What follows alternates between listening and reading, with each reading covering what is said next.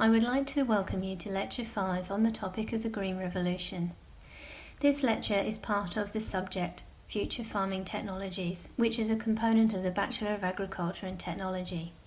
This degree is offered at both North Melbourne Institute of TAFE and Melbourne Polytechnic. Please visit our website at www.nmit.edu.au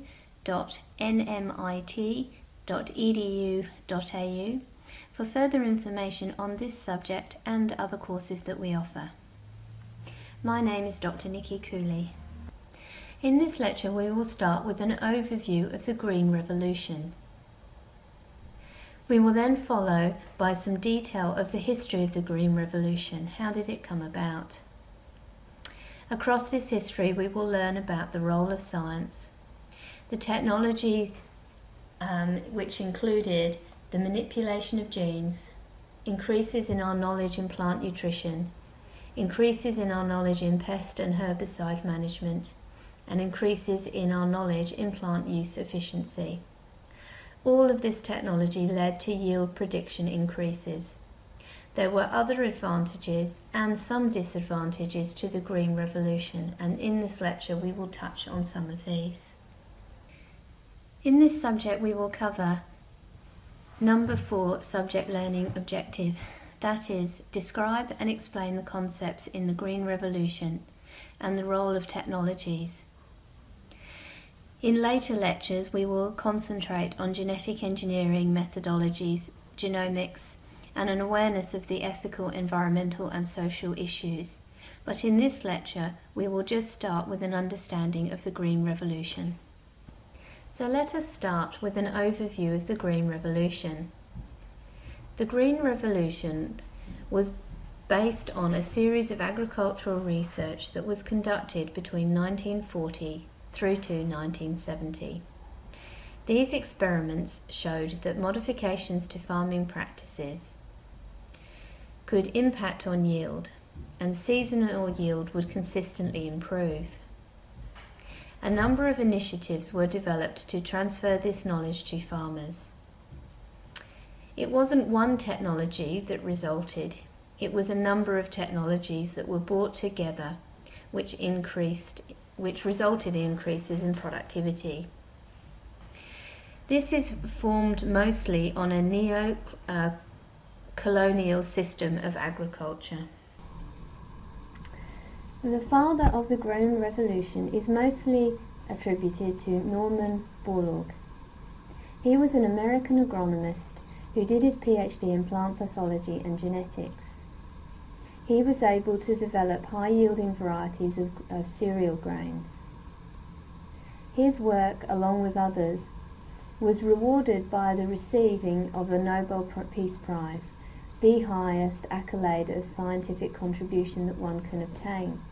He also received a number of other medals and awards that recognise this significant contribution to both science and to agriculture. He was accredited for saving several billion people from starvation during this period. This was achieved by both selecting varieties of cereal grains that produced high yields, along with an expansion of irrigation infrastructure modernisation of management techniques, the hybrid, uh, distribution of hybridized seeds, as well as the production of new synthetic fertilizers and new pesticides to farmers. Ethylene is a hormone that can enhance leaf senescence. For example, exogenous application of ethylene accelerates senescence. Inhibitors of ethylene retard leaf and flower senescence. Carnations in silver thiosulfate, or STS for short, is an inhibitor of ethylene action and it results in inhibition of senescence. Dr. Borlaug had a hypothesis. His hypothesis was that the increasing the productivity of agriculture on the best farmland can help control deforestation by reducing the demand for new farmland deforestation was as much of an issue uh, then as it still is today. The theory is simple higher yields, less farmland required, more land for forests. It was thus argued that high yield technologies are ultimately saving ecosystems from destruction. One of the issues with this hypothesis is that deforestation occurs for many reasons other than just agriculture. It also requires that modern yield production can keep up with global population growth. So let us have a look at the technology. On the screen you will see a picture. In this picture are two types of wheat. The tall variety on the right hand side is the traditional spring wheat, Triticum.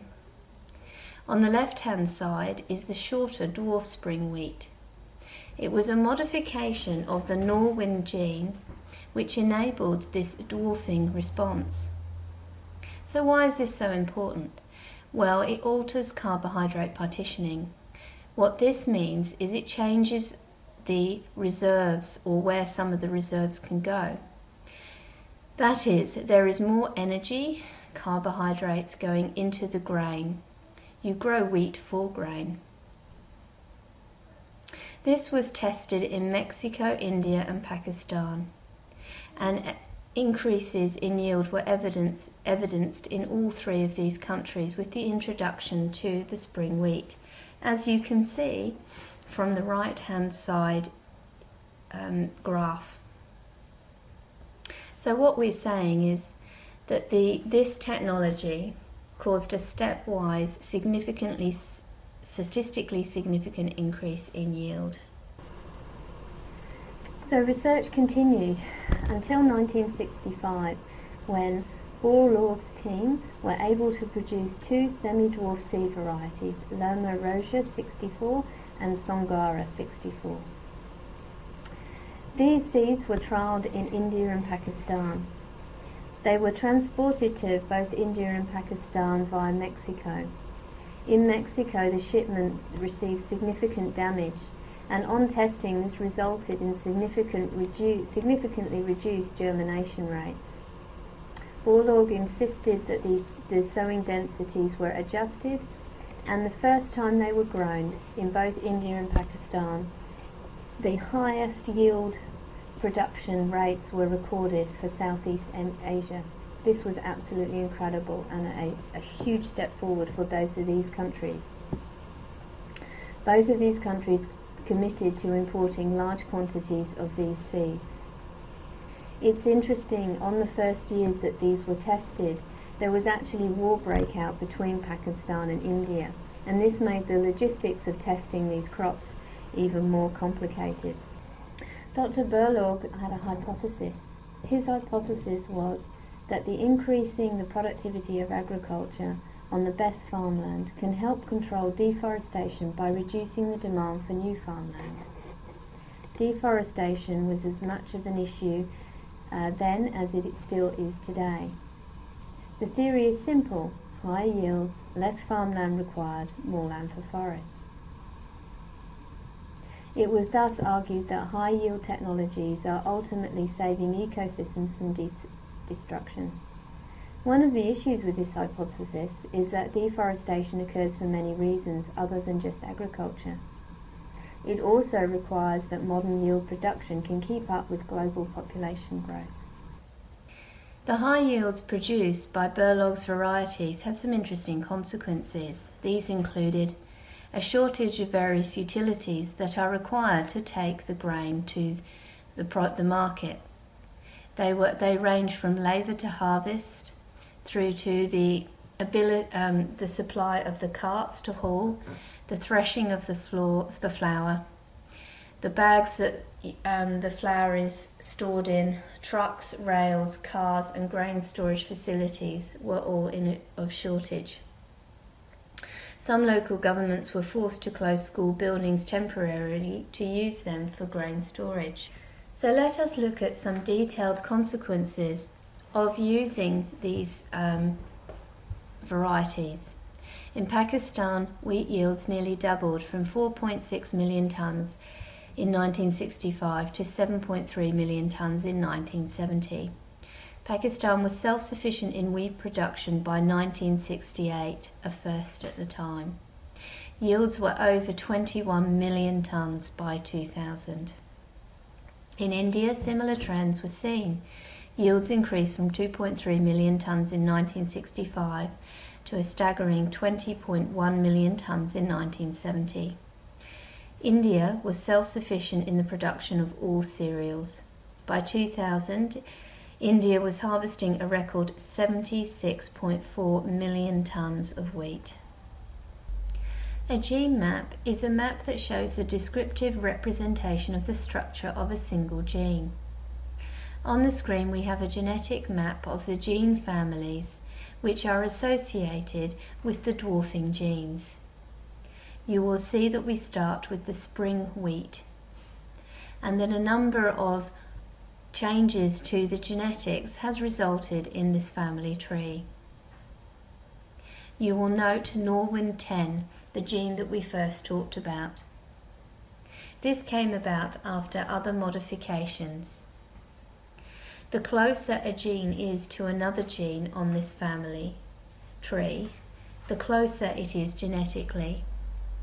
Therefore, Norin 10 and Autonoma, for example, are further away genetically than Norin 10 and the variety Beaver. As I stated earlier in this talk, there was a large body of scientists that were collectively working towards the benefits that we saw from the Green Revolution.